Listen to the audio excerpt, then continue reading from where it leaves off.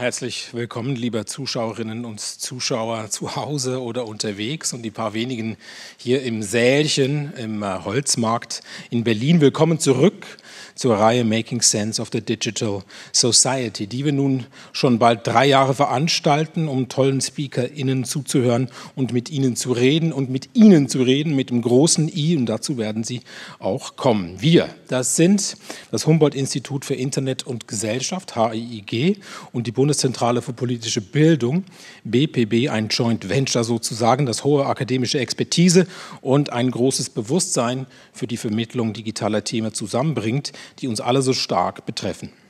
Danke an dieser Stelle auch ans HIG Christian Katzenbach und an die BPB Sascha Scheier sowie an das HIG Veranstalterteam und Christian Grauvogel, das sich als Sidekick zu dieser Reihe beitragen und nach den Vorträgen jeweils ein paar Fragen stellen darf. Das wie gesagt auch schon bald drei Jahre lang.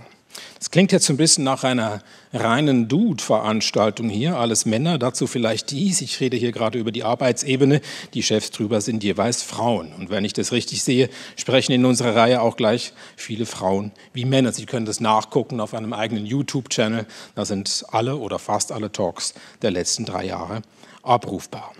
Wir reden heute Deutsch für einmal, weil der Gast aus Deutschland kommt. Wir handhaben das ein bisschen unterschiedlich. Heute dachten wir, wir machen es auf Deutsch.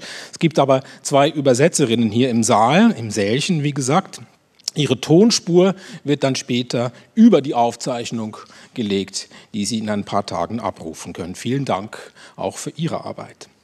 Nach dem Vortrag mit dem Titel Die Digitalisierung wird das Klima nutzen, Ausrufezeichen, reden wir hier zu zweit, ein bisschen auf der Bühne hier drüben, bevor wir Ihre Fragen diskutieren, die Sie über das Partizipationstool Slido, slido.com, Sie sehen es wahrscheinlich eingeblendet jetzt im Stream, nehme ich mal an, Ihre Fragen stellen können. Die können dann abgevotet werden oder downgevotet zum Beispiel und Sie werden dann live im Saal hier von einer Spokesperson vorgetragen, dass wir auch mit Ihnen noch ins Gespräch kommen. Während Sie also gemütlich Fragen in Ihr Mobile Device tippen und wir hier die Router mit Streaming zum Kochen bringen, könnte es sein, dass unser Gast gerade verrät, wie viele Terabyte-Stunden seit der Einführung des iPhones in die Produktion sowie in die Nutzung von Smartphones geflossen ist.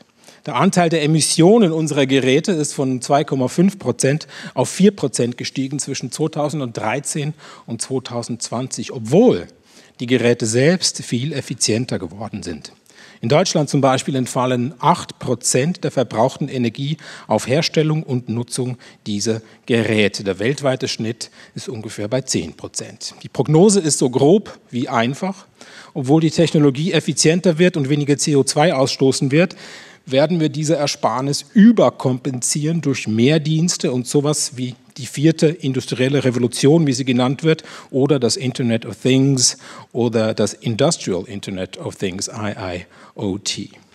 Es geht hier also nicht nur um Kühlschränke, die selbstständig Weißwein nachbestellen, sondern um die totale Digitalisierung des produzierenden Gewerbes. Es geht hier um eine Art, man könnte sagen, Celebrity Deathmatch, um einen Kampf der Giganten, nämlich zwischen Ökologie und Wachstum. Oder geht das, grünes Wachstum? Oder brauchen wir negatives Wachstum? Kann Digitalisierung da nicht auch viel lösen von alleine? Oder wer muss da alles noch mit an den Tisch?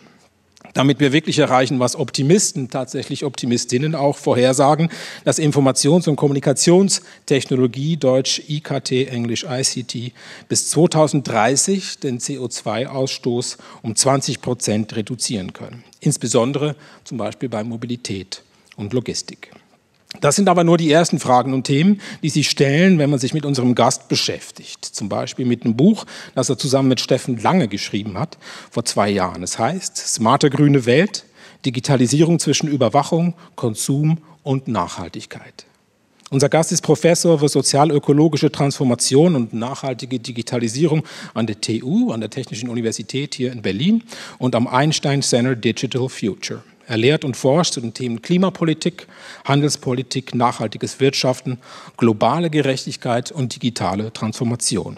Seit 2016 leitet er die Forschungsgruppe Digitalisierung und sozial-ökologische Transformation an der TU und dem Institut für ökologische Wirtschaftsforschung IÖW. Heute Abend ist er aber bei uns und bei Ihnen auf dem Schirm. Ich freue mich sehr jetzt auf den Vortrag von Tillmann Santarius. Ich bitte Sie auf die Bühne zu kommen.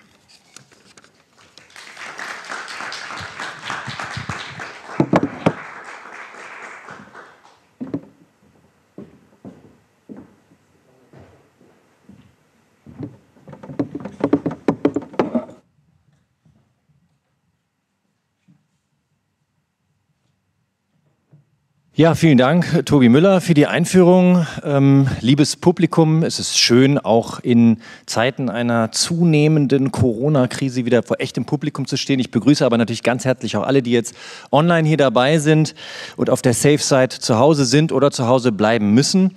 Äh, unser Thema heute Abend, Making Digitalization Work for the Climate. Äh, das ist ähm, in Anlehnung an den aktuellen Titel unseres jetzt auf Englisch erschienenen Buchs Smart Green World, Making Digitalization Work for Sustainability.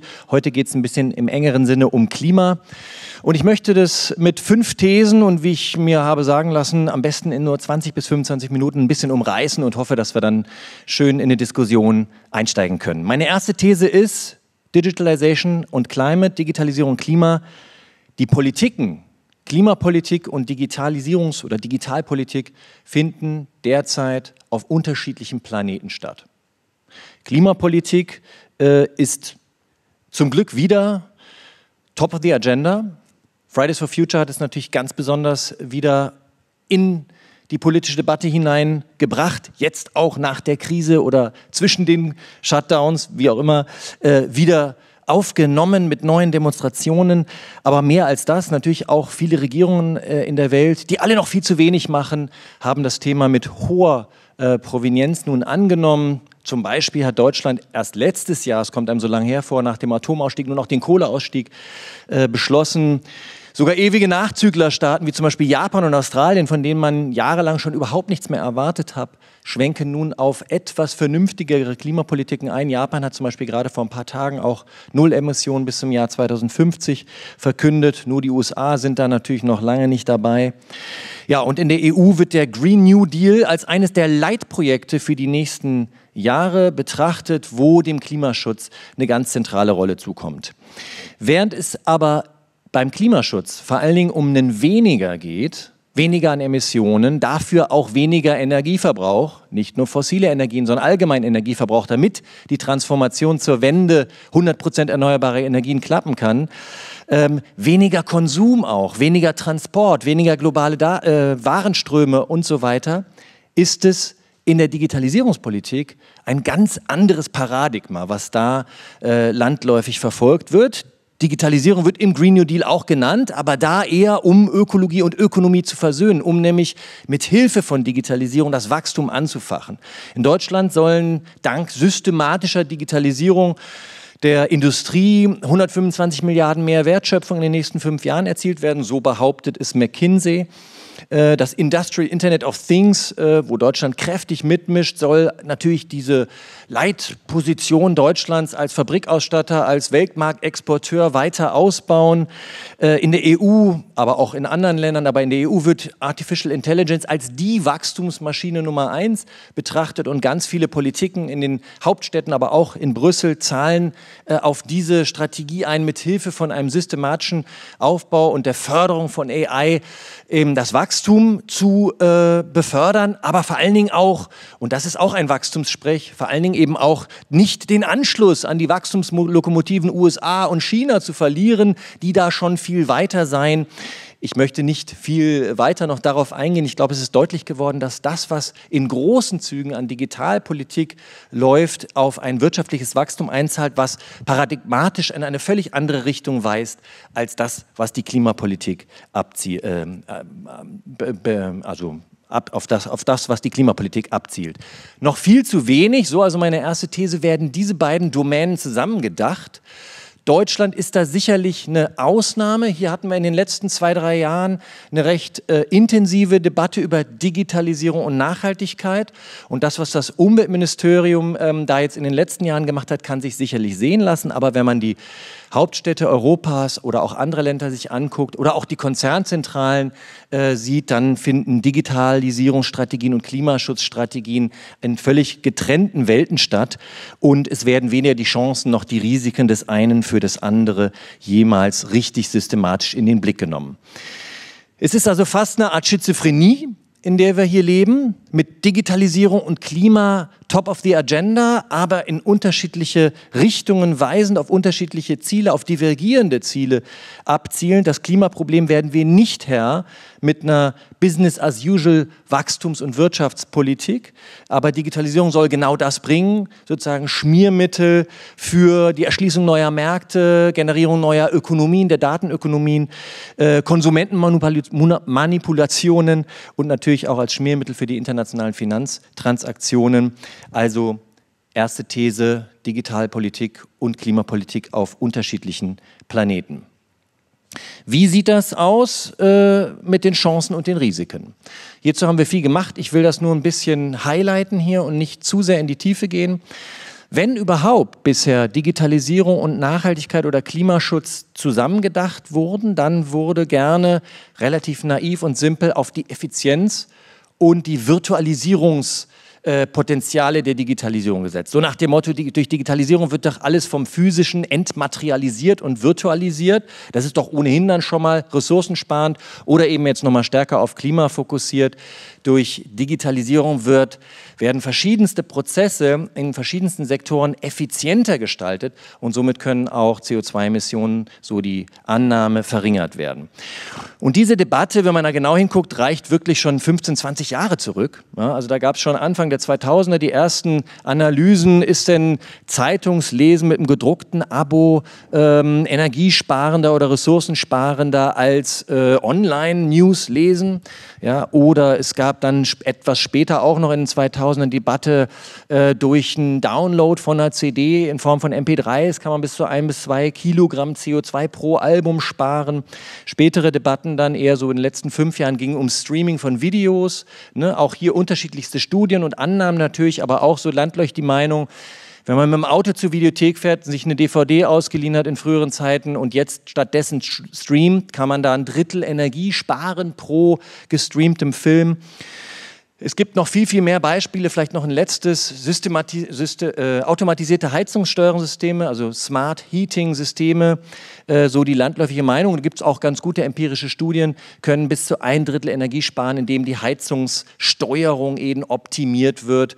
Räume beispielsweise nur noch dann geheizt werden, wenn sie wirklich genutzt werden und so weiter und so fort. Aber das sind natürlich alles theoretische, technische Einsparpotenziale und mich als Sozialwissenschaftler hat schon immer interessiert, ja gut, was ist denn jenseits der technischen Innovationen dann an Veränderungen auf Seiten der Nutzung bei den KonsumentInnen zu beobachten. Inwiefern hat, führt denn die Einführung von Online-News oder ähm, digitalen Musik- und Videoangeboten oder eben Smart Home-Systemen auch zu einer Veränderung der Konsumweisen und was bedeutet das wiederum für Energie- und CO2-Emissionen? Und hier wird man eben sehen, dass da viele Effekte ins Spiel kommen, die dann diese technischen Einsparpotenziale wieder auffressen. Ich gehe diese Beispiele nochmal durch. News, ne? klar, eine gedruckte Zeitung ist heute, kommt einem schon fast wie eine Umweltverschmutzung vor. Aber auf der anderen Seite steht natürlich das zigtausendfache an News, und Social Media Posts und Blogs und Tweets und so weiter dem gegenüber, die alle auch generiert werden müssen, Daten transferiert werden müssen, Strom kosten. Musik, Lieder werden lange schon nicht mehr einfach als MP3 irgendwie heruntergeladen, sondern gestreamt, teilweise auch das eine dasselbe Lied zigfach gestreamt, wenn es jetzt der Most Favorite Song ist. Und selbst die, die artig ihre Spotify-Bibliotheken downloaden, ja, die haben wahrscheinlich immer noch eine viel größere Musikbibliothek digital auf dem Smartphone oder auf dem äh, Tablet, als das früher das landläufige CD-Regal war. Streaming, auch hier ganz klar, ne, die Einschaltquoten im Fernsehen gehen eben nicht runter. Vielleicht machen ein paar Kinos pleite, aber in allen Teilen kommt das Streaming on top, obendrauf auf hohen Filmkonsum. Und mein letztes Beispiel, Smart Home Systeme. Wir haben da selber eine recht fundierte Untersuchung gemacht äh, zu Smart Home und äh, Energie- und Ressourcenschutzpotenzialen und haben unter anderem 500 äh, Haushalte in Deutschland befragt zu Smart Home und dabei festgestellt, dass das durchschnittliche Smart Home System aus zehn digitalen Geräten besteht. Das also neben der eigentlichen Heizungssteuerung dann gibt es eine, eine Fülle anderer Geräte, natürlich die äh, Luft- und Feuchtigkeitssensoren, WLAN-taugliche Rauchmelder, äh, die Home Security Kamera und dergleichen mehr. Und diese Geräte selber natürlich kosten in der Herstellung Strom, in der Nutzungsphase dann auch Strom und Energie und CO2-Emissionen. Insofern, die Beispiele zeigen, und mein Fazit hier zur These 2 ist, bisher haben Rebound-Effekte, Induktionseffekte, Wachstumseffekte, Veränderungen bei den Konsummustern dazu geführt, dass die technischen Einsparpotenziale aufgefressen wurden. Insofern meine zweite These, Digitalisierung war derzeit vor allem oder in erster Linie Nullsummspiel mit Blick auf Beitrag zum Klimaschutz. Dritte These, wie könnte es besser sein? Das ist auch eine Corona-Lehre, auf eine Art zumindest. In der Corona-Krise haben wir jetzt gesehen, wenn Digitalisierung systematisch substituiert, dann können damit erheblich Emissionen verringert werden. Ich sage deswegen nicht, dass das sozusagen der Blueprint ist, wie es zu laufen hat, ja, aber ich sage, dass das eine Lehre ist, die zeigt, wie es gestaltet werden müsste. Denn wir haben natürlich gesehen, dass auf dem Peak der Corona-Krise Anfang April waren die Emissionen 26 Prozent niedriger in Deutschland, vor allen Dingen durch den Verkehr. Ähm, für ganz 2020 wird global mit 4 bis 7 Prozent weniger Emissionen gerechnet. In Deutschland Rückgang 30 bis 100 Millionen Tonnen. Das ist ungefähr das, was Deutschland eigentlich jedes Jahr leisten müsste, um seinen Fair Share für eine klimagerechte Politik zu leisten. Und Digitalisierung hat dabei eine große Rolle gespielt, weil sie konsequent substituiert hat. Wir hatten 50 bis 80 Prozent weniger Verkehr, aber 120 Prozent mehr Videokonferenzen. Und klar, diese Videokonferenzen kosten auch Strom aber netto unterm Strich deutlich weniger als das im Verkehrsbereich durch ein Pendeln von A nach B oder gar durch Flugreisen äh, zu verzeichnen ist. Digitalisierung in der Krise hat übrigens auch gezeigt, das ist nochmal spannend, dass wir mithilfe von Digitalisierung Emissionen drastisch vermeiden können, ohne aufzurüsten, ohne auf Artificial Intelligence, Internet of Things oder dergleichen hoffen zu müssen, sondern mit dem bestehenden äh, Potenzial an digitalen Infrastrukturen und Endgeräten. Also wenn man da irgendwo aufrüsten müsste, dann wahrscheinlich am ehesten, um die Digital Divide zu reduzieren. Denn natürlich waren in der Krise, im Lockdown die Familien oder auch Arbeitnehmerinnen, die weniger Zugang zu digitalen Geräten und zum Internet hatten, deutlich benachteiligt. Aber als Land, sage ich mal so, hat die digitale Infrastruktur ausgereicht. Es hat auch keine Verstopfung der Netze gegeben wie man hier sicherlich gut weiß in diesem Raum, ähm, nur weil jetzt Leute mehr Videokonferenzen gemacht haben, sondern es, mit dem Potenzial, was da war, konnten eben diese drastischen Emissionsreduktionen unterstützt werden. Ja, die Herausforderung, die jetzt besteht, ist, das zu verstetigen. Natürlich nicht die Corona-Krise in den Shutdown zu verstetigen, aber die Substitution zu verstetigen. Wie kriegen wir das hin als Gesellschaft, dass Digitalisierung das an analogen, an fossilen, an materialintensiven Konsumweisen auch tatsächlich ersetzt und nicht einfach nur on top obendrauf dazukommt. Ich glaube, es ist ähm, relativ offensichtlich, dass das New Normal nach der Krise, wenn es dann irgendwann mal auch eine Zeit nach der Krise wirklich gibt, wesentlich digitaler sein wird. Aber das könnte wieder ein Add-on sein. Es könnte sein, dass die Menschen wieder genauso viel reisen, dass der Flugverkehr wieder äh, zunimmt, dass die Pendelverkehre wieder zunehmen und wir zusätzlich noch wesentlich mehr Videokonferenzen machen und dergleichen mehr. Und dann ist natürlich dem Klima nicht geholfen. Letzte These, nach der dritten These Substitution, Konsequenz. Ähm, vierte These, Digitalisierung birgt vor allen Dingen große Potenziale. Ähm, aber auch einige Riesen, Risiken, wenn es darum geht, eine Transformation der Sektoren ins Werk zu setzen. Zum Beispiel die Energiewende voranzubringen. Ne, eine dezentrale Energiewende mit 100% erneuerbaren Energien wird wesentlich digitaler sein. Will ich jetzt hier aber hier nicht ausbreiten. Eine Mobilitätswende, weg vom Automobil hin zu mehr Sharing-Verkehr, öffentliche Verkehre und so weiter, wird wesentlich auf Mobility as a Service Plattformen als ein zentrales Schlüsselelement, also wieder auf Digitalisierung fußen und so weiter. Ich will hier ein bisschen stärker über Konsumwende sprechen, weil das auch nochmal zu dem Wachstumsthema sehr gut passt, äh, was ich ja auch schon angesprochen habe mit der ersten These. Äh, die Konsumwende. Digitalisierung hat eigentlich schon in den letzten Jahren jede Menge Tools bereitgestellt, um nachhaltiger zu konsumieren. Was heißt denn eigentlich jetzt erstmal Konsumwende und nachhaltiger konsumieren? Sind wichtig zwei äh, Komponenten hier zu berücksichtigen. Einerseits nachhaltigere Produkte, nachhaltiger, ökologischer, sozialer hergestellte Produkte und zweitens aber weniger Konsum. Ne, weil wir ja natürlich zumindest in den hochindustrialisierten Ländern wie Deutschland auf einem Konsumniveau leben, was so nicht mit dem Klimazielen kompatibel ist. Und zu beiden nachhaltigere Produkte und weniger Konsum wir nennen das auch Suffizienz beim Konsum, kann Digitalisierung eine Menge beisteuern, hat es schon in der Vergangenheit durch eBay, ja, auch wieder ältere Geschichte durch andere Gebrauchtwarenplattformen, durch Sharing-Plattformen, durch Prosuming, durch leichten Zugang zu äh, Bauplänen, äh, Reparaturmöglichkeiten und ähnliches. Aber das Problem hierbei ist natürlich gewesen oder nach wie vor, dass das alles in der Nische verbleibt, weil es intrinsisch motivierte Konsumenten braucht, die davon Gebrauch machen. Wer schaut sich auf YouTube die Do-it-yourself-Videos an? Das machen zwar etliche, aber es werden viel mehr andere Videos ge gestreamt, die vielleicht eher sogar zum Konsum anregen. Ein Problem ist also, es erfordert intrinsisch motivierte KonsumentInnen und davon gibt es im Allgemeinen nicht genügend viele. Äh, und zweitens, ein Großteil des Konsums erfolgt auf Basis von Habits, Gewohnheiten, ja, am Point of Sale, ad hoc, Spontankonsum. Und auch dafür bringen dann natürlich die Angebote äh, für Sharing oder so nur begrenzt etwas, beziehungsweise werden dann teilweise eben noch als hinderlich wahrgenommen. Wir starten gerade, und da möchte ich ein bisschen aus dem Nähkästchen plaudern, ein neues Forschungsprojekt, das hat gerade vor zwei Wochen endlich begonnen, ähm, wo wir nicht Low-Tech, sondern durchaus High-Tech, nämlich mithilfe von KI, künstlicher Intelligenz, ähm, Nachhaltig beim Nachhaltigkeit beim Konsum befördern wollen. Wir wollen im Grunde Nudging betreiben, also weiterhin Konsumentinnen völlig freie Wahl lassen, aber Informationen bereitstellen und die Infrastrukturen ein bisschen, die, die Entscheidungsstrukturen, sagen wir mal, so ein bisschen twisten, ein bisschen nudgen, sodass es Menschen wesentlich einfacher fällt, ähm, nachhaltiger zu konsumieren im Sinne von weniger oder auch ökologischere Produkte zu konsumieren.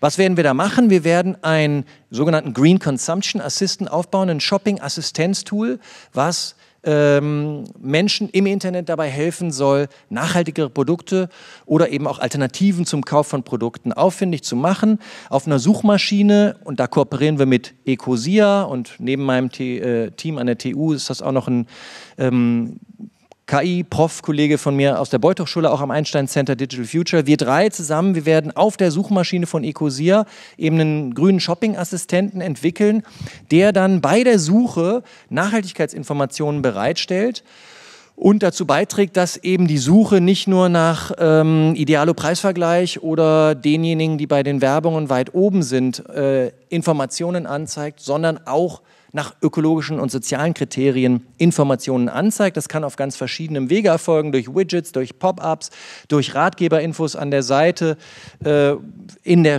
der Smartphone-App von Ecosia natürlich auch nochmal auf eine andere Art und Weise. Und was wollen wir da machen? Wir wollen eben Informationen erstmal bereitstellen über, wo finden denn Menschen nachhaltigere Produkte oder Alternativen zum Kauf. Wir wollen dabei auch Transparenz bringen in den Label-Dschungel. Ja, also es gibt zum Beispiel 80 verschiedene Tierwohl-Label, ein Dschungel an Fashion-Labels. Die wenigsten steigen noch wirklich durch, was davon jetzt dann echt nachhaltig ist oder was vielleicht Greenwashing ist. Und wir wollen natürlich dann, und das ist der Witz, im Moment der Entscheidungsfindung oder des sozusagen am Point of Sale, ne, virtuell im Internet sofort eine Alternative anbieten, einen Link, wo man dann vielleicht den möglichst energieeffizienten Kühlschrank oder das fair produzierte T-Shirt äh, finden kann oder vielleicht die Reparaturalternative, anstatt sich das Smartphone neu zu kaufen. Was werden wir da machen? Wir bauen eine große Nachhaltigkeitsproduktdatenbank auf, ein Kriterienraster für die KI-Algorithmen, wonach bewertet werden kann, was denn nachhaltige Optionen sind. Und damit eben auch nicht nur die nachhaltigen Produkte, sondern auch die Kaufalternativen angezeigt werden können, wie Verleih, Sharing, Reparatur, offene Werkstätten und ähnliches. Ja, und dann werden wir natürlich dieses äh, KI-Tool auf der Plattform entwickeln und wir werden vor allen Dingen auch sozialwissenschaftliche Begleitforschung machen, denn, und damit runde ich ab, KI selbst kann sehr energieintensiv sein. Wie energieintensiv unsere sein wird, wissen wir jetzt noch gar nicht, aber wir wissen zum Beispiel aus ähm, bildgebenden Verfahren oder bildanalysierenden Verfahren, dass eine KI, die einfach nur ein Eichhörnchen von einem Marder unterscheiden soll, zigtausende, vielleicht Dutzende Millionen von Testfotos in mehreren Iterationsschleifen nötig hat, um das zu lernen. Und äh, es gibt eine Studie aus Massachusetts, die mal ausgerechnet hat, dass so ein bildgebendes ähm, Verfahren 284 äh, Megatonnen, äh, Tonnen, 284 Tonnen CO2 emittieren kann. Das ist eine horrende Summe. Das heißt, wir müssen immer mitmonitoren. Wie energieintensiv ist denn jetzt unser grüner Shopping-Assistent und was helfen wir wirklich zu vermeiden, damit netto unterm Strich ein Beitrag fürs Klima bei rauskommt. Also Fazit, Digitalisierung hat eine Menge Potenzial zur Konsumwende beizutragen, ähm, aber wir wollen nicht auf den KI-Hype einzahlen, der dann eine Wachstumsökonomie befördert, sondern eher damit dazu beitragen, dass weniger konsumiert wird, weniger konsumiert werden muss, um ein gutes Leben zu führen, um seine Bedürfnisse zu befriedigen und dass insgesamt ökologischere und sozialere Produkte zum, ähm, zum Durchbruch kommen. Ja, meine fünfte These ist dann auch so ein bisschen das Fazit, mit dem ich äh, zusammenfasse. Ähm, ich glaube, um das alles zum Durchbruch zu bringen, muss eine wesentlich stärkere politische Gestaltung erfordern äh, oder nötig werden. Erstens, um nochmal meine These 1 anzuknüpfen, Digitalisierung, Klima, Umweltschutz muss wesentlich konsequenter zusammengedacht werden. Wir müssen diese Politikkohärenz herstellen, anstatt schizophren hier auf Wachstum, da auf Reduktion zu setzen. Ähm, Politikkohärenz nicht nur in Deutschland, sondern auch weiter. Insofern ist zu hoffen, dass auf der EU-Ebene in diesem Herbst auch äh, die Ratsbeschlüsse da einige wegweisende äh, Gestaltungsoptionen beinhalten werden, wie man Digitalisierung für Klimaschutz und Nachhaltigkeit nutzbar machen kann. Zum Beispiel, indem Rechenzentren stärker gelabelt werden und mit Effizienzstandards versehen werden. Zum Beispiel, indem die Gerätedauer verlängert wird über etwa verlängerte Garantiepflichten oder Right to Repair oder ähm, eine Offenlegung von äh, äh, Softwareverpflichtungen, dass Updates bereitgestellt werden, bis das äh, Gerät seine physische äh, Lebensdauer äh, beendet hat und dergleichen mehr. Also hier Hoffnung auf wegweisende Politik, Kohärenz und Politikgestaltung, nicht nur in Deutschland, sondern auch auf EU-Ebene. Und ich hoffe, dass wir auch einen kleinen Beitrag damit leisten konnten, dass wir eine Stellungnahme vom Europäischen Parlament genau zu der Frage ähm, auch beraten haben, wie Digitalisierung und Nachhaltigkeit konsequent zusammengedacht werden kann. Die Stellungnahme kommt in drei Wochen in Brüssel raus. Zweitens dann, damit keine Rebound- und Induktionseffekte die technischen Einsparpotenziale auffressen, brauchen wir digitale Suffizienz. So wenig Digitalisierung wie möglich so viel wie nötig, ist unser Motto und das breiten wir auch in unserem Buch Smarte grüne Welt relativ gut aus. Insofern möchte ich das nicht hier vertiefen. Ja, dann habe ich über die Substitution gesprochen von Digitalisierung am Beispiel der Corona-Lehren. Was brauchen wir hier? Auch eine Fülle von Maßnahmen, die denkbar sind. Ich würde für ein Recht auf Homeoffice plädieren. Äh, aber gleichzeitig dann eben für mehr drastische Maßnahmen, um Verkehr unattraktiver zu machen, damit genau das, was wir jetzt gesehen haben, Digitalisierung kann Transportströme ersetzen, auch verstetigt wird. Ja, und finally, ähm, ich glaube, Digitalisierung für Making it Work for Climate muss ähm, viel stärker äh, öffentlich unterstützt werden. Das werden Projekte, ähm, Produkte, ähm, Forschungsansätze sein, die nicht aus der Industrie in erster Linie kommen, äh, sondern wenn man hier Digitalisierung oder eben Hightech für eine No-Growth Society einsetzen möchte, dann muss das öffentlich gefördert werden.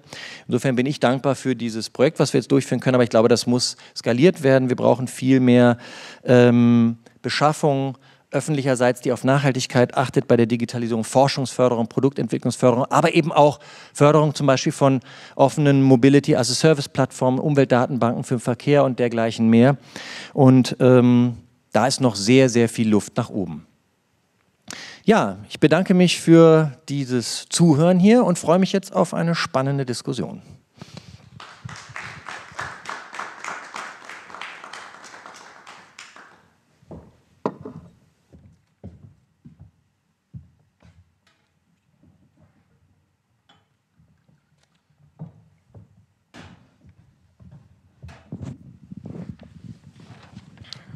Vielen herzlichen Dank, Tilman Santarius, für diesen sehr dichten, sehr schnellen Vortrag mit so vielen Punkten. Man könnte jetzt sehr lang darüber diskutieren.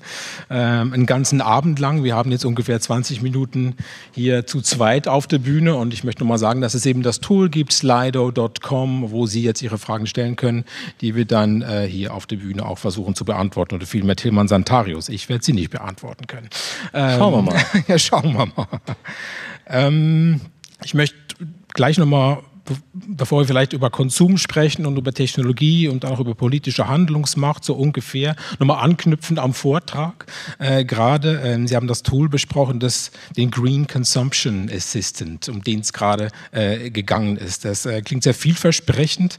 Das ist ja auch was, was dann im Narrativ, könnte man sagen, des grünen Wachstums so ein bisschen aufgeht oder darin irgendwie stattfindet. Also was muss das Tool alles können, dass dann eben nicht die vielbeschworenen oder viel genannten Rebound-Effekte eintreten. Also dass wir dann letztendlich nicht doch mehr konsumieren, nur grüner, was ja nicht das ist, was das Tool quasi äh, ähm, mit uns anstellen möchte, sondern es möchte uns zu was anderem natschen. Also was, wie baut man sowas, dass diese Rebound-Effekte dann eben gerade nicht eintreten? Ja, gute Frage. Also ich meine, das der Term Green Consumption Assistant, wenn man den nicht mit einem gewissen Augenzwinkern sieht, dann könnte man wirklich meinen, es geht jetzt hier darum, grünen Konsum anzukurbeln, ja. ne? dazu assistieren, damit die Leute noch besser grün konsumieren können. Das ist ja genau der Witz, dass das nicht äh, das Ziel ist, habe ich ja hoffentlich auch ausführlich dargelegt, dass es eben nicht nur darum geht, ökologischer und sozial gerechter hergestellte Produkte, sondern eben auch Alternativen zum Kauf zu äh, protegieren. Wie muss das Tool ausgelegt sein? Ich glaube, ganz wichtig ist, Erstens starke Nachhaltigkeit. Bei dem Aufbau der Produktnachhaltigkeitsdatenbank, also bei der Datenbank, wo wir jetzt äh, Informationen sammeln werden, äh, welche Konsum- oder Kaufentscheidungen oder alternativen Konsum denn wirklich Nachhaltigkeit, äh, nachhaltig sind, welche vielleicht eher äh, als Greenwashing gar nicht empfohlen werden sollten, welche Unternehmen zum Beispiel auch, es muss ja nicht nur auf der Produktebene sein, welche Unternehmen vielleicht auch als äh, Adressaten empfohlen werden können, welche aber hingegen ganz klar sozusagen als Klimasünder oder eben als äh, Ne, als äh, Laggards irgendwie gebrandmarkt werden. Dabei ähm, wird es stark immer wieder um Kompromisse gehen. Und wir, wir setzen uns dafür ein Modell der starken Nachhaltigkeit ein, also wirklich nur die Produkte oder Kauf- oder Sharing-Optionen zu empfehlen, die auch das Prädikat Nachhaltigkeit verdienen. Äh, das ist mal der erste Punkt und ich glaube, das ist gut, dass das die Kombination aus, wir haben eine, eine KI-Forschungsprofessur dabei, ähm, ich glaube, ich habe eine ausgewiesene Expertise genau zur Frage Suffizienz und nachhaltiger Konsum und komme aus der Ecke der starken Nachhaltigkeit. Und mit Ecosia haben wir eben einen Partner, der nicht auf äh, Profit setzt, sondern auf Purpose-Unternehmen. Das heißt, das ist eine, eine Plattform, die, na, na, klar, im Vergleich zu Google relativ klein ist, aber immerhin jeden Tag 15 Millionen Suchanfragen kriegt und nicht ein Interesse daran hat, dass das zu laufend mehr Einnahmen führt, sondern sogar bereit ist, so einen Green Consumption Assistant zu entwickeln und dabei auch vielleicht Gewinneinbußen oder eben äh, Einbußen beim Turnover in Kauf zu nehmen. Das ist eine gute Mischung, glaube ich. Also starke Nachhaltigkeit. Erstens. Und zweitens eben, der Witz ist dann zu sehen, dass wir das begleitend beforschen. Das ist eben auch diese soziale Begleitforschung. Es geht nicht nur darum zu gucken, wie energieintensiv ist die KI und äh, was sparen wir ein, sondern eben überhaupt zu schauen, Nutzen Konsumentinnen dieses Tool? Wie nutzen sie das? Konsumieren sie dann vielleicht sogar eher mehr, weil sie jetzt ein beruhigtes Gewissen haben und sagen, hey cool, dieses ökofaire T-Shirt, was ich jetzt gekauft habe, kaufe ich gleich drei Stück von, weil es ist ja jetzt total okay, dass ich das mache. Das können wir nachhalten und das beobachten und werden dann auch entsprechend auf solche Rebound- und Induktionseffekte reagieren können. Und ich glaube, das ist auch ein Novum, weil das bisher nicht gemacht wird.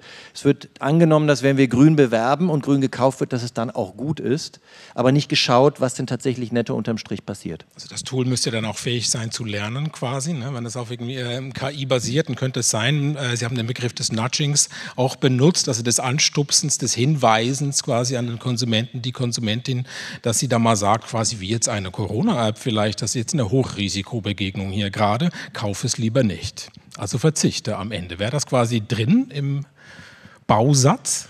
Ja, kann ich mir gut vorstellen. Ich meine, wir arbeiten ja sowieso in meinem Team, das hat jetzt nichts mit dem Consumption Assist zu tun, äh, ja. zu suffizienzorientiertem Marketing ja. mit anderen Plattformen, zum Beispiel im Avocado Store zusammen, ne, wo wir ja. versuchen wollen, mit Unternehmen auszutesten, was so Botschaften wie Kauf es lieber nicht äh, bewirken und ob das nicht sogar den Unternehmen unterm Strich zwar auch was bringen kann, zum Beispiel einen, äh, einen, festeren Kundenstamm oder ein besseres Image oder dergleichen, aber gleichzeitig tatsächlich zur Verkaufsverringerung beiträgt. Ne? Mhm. Und äh, das ist ein spannendes Feld. Also ich hoffe, dass wir das auch zusammenführen können mit dem Consumption Assistant. Das ist ein weiterer Begriff, der jetzt gerade nochmal gefallen, ist äh, die digitale Suffizienz.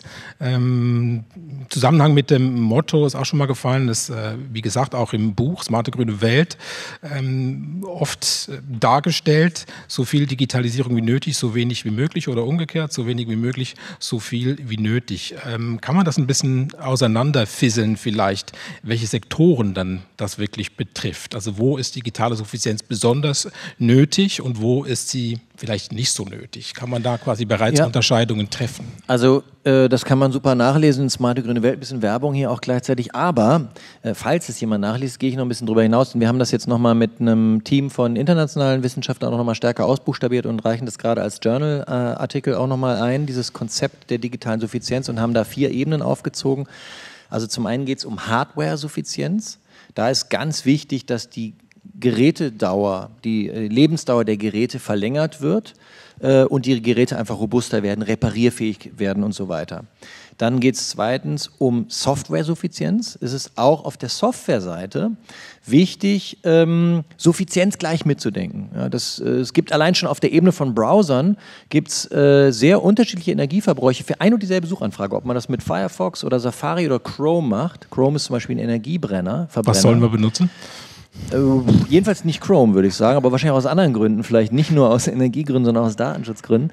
Aber das ist ja schön, wenn das dann auch zusammenkommt, sozusagen, äh, dass man an der Stelle Google auch gut vermeiden kann, wenn man äh, es nicht nur mit Datenschutz, sondern auch mit Ökologie am Hut hat. Aber insgesamt, ne, bei Software, äh, zum Beispiel jetzt nochmal ein ganz triviales, äh, ein trivialer Fall, ähm, die ewigen Schleifen auf, auf YouTube oder Netflix oder so weiter, dass man zum Binge-Watching eingeladen wird. Ne? Das sind lauter so bei der Konzeption Konzeption, beim Design, bei der Programmierung von äh, Digital Services darauf zu achten, dass da Suffizienz eine Rolle spielt. Das ist eine zweite Dimension, also Hardware-Suffizienz, Software-Suffizienz. Und dann gibt es natürlich auf der Seite der Nutzung nochmal zwei Ebenen. Einerseits die individuelle Ebene, Nutzungssuffizienz, User Sufficiency wo es auch wieder darum geht, ne, brauche ich jedes Jahr ein neues Smartphone oder muss ich jetzt äh, ständig irgendwie neue Dienste in, Anführung, äh, in Anspruch nehmen, ähm, aber eben auch darum geht, wie kann man denn Digitalisierung in seinem Leben so einsetzen, um möglichst suffiziente Lebensstile zu verfolgen. Ähm, ne, und das geht dann in jeden Sektor rein, also von der Ernährung bis hin zur Mobilität. Und dann als vierte Dimension neben der User Sufficiency die ähm, ökonomische Suffizienz äh, und das passt zu meiner letzten These. Ich glaube, wir müssen Digitalisierung viel stärker als Gesellschaft, wenn ich sage wir, meine ich auf einer gesellschaftlichen Makroebene, muss Digitalisierung stärker eingesetzt werden, um zu einer dezentralen, deglobalisierten Degrowth Economy zu kommen.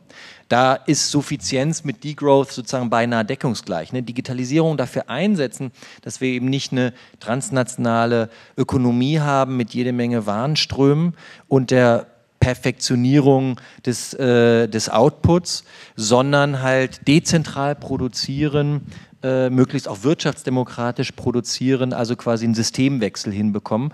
Und da kann, ich würde nicht so naiv sein wie jetzt Jeremy Rifkin, dass ich glaube, wenn wir jetzt einfach digitalisieren, dann implodiert der Kapitalismus sowieso. Das ist natürlich völliger Humbug, aber die Potenziale sehe ich schon. Und da muss sozusagen die ökonomische Suffizienz hingehen, wenn es darum geht, Digitalisierung für Degrowth zu nutzen. Sie sprechen und schreiben ja äh, oft über die sanfte Digitalisierung. Das klingt so ein bisschen nach einem Hineingleiten. Also wir kriegen das irgendwie optimiert und äh, kriegen dann auch das Verhalten optimiert, vielleicht ein Stück weit. Ich frage mich manchmal, ob es da nicht auch quasi disruptive Momente drin gibt und möchte Ihnen da äh, was vorlesen. Sie sind ja einer der wenigen Wissenschaftler, die sich trauen, in die Zukunft zu schauen. Das gefällt mir äh, wahnsinnig gut. Viele sagen, that's not my job. Sie mutmaßen aber im Buch über das Jahr 2030 und schreiben da unter anderem eins der Mittel, um einen Rebound-Effekt zu verhindern, also dass effizientere Technologie dann doch zu mehr Konsum führt, ist ein Passivitätsgebot. Sie haben es ganz kurz genannt im Vortrag jetzt. Also ein Werbeverbot in gewissen Gebieten, ein Manipulationsverbot.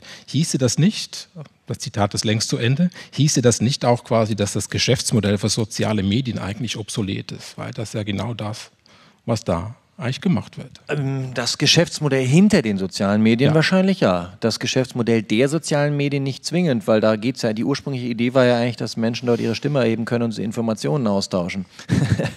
und das kann man ja auch anderweitig mit einem Profitmodell verbinden, etwa indem man dafür zahlen lässt oder äh, was weiß ich. Ne? Also da gibt es verschiedenste Optionen. Es muss nicht äh, sich dadurch refinanzieren oder geschweige denn wie im Fall von Facebook irgendwie äh, hunderte oder zig Milliarden Werbeeinnahmen abwerfen pro Jahr, dass man die Konsumenten manipuliert. Und insofern würde ich, würd ich das genauso sehen. Klar, dieses Geschäftsmodell äh, hinter Social Media, was versucht, die NutzerInnen, also die KonsumentInnen, zu manipulieren, um mehr zu kaufen, indem es Werbung optimiert, ähm, auf eine extrem subtile Art und Weise, das ist natürlich obsolet in einer Welt, die auf Nachhaltigkeit abzielt.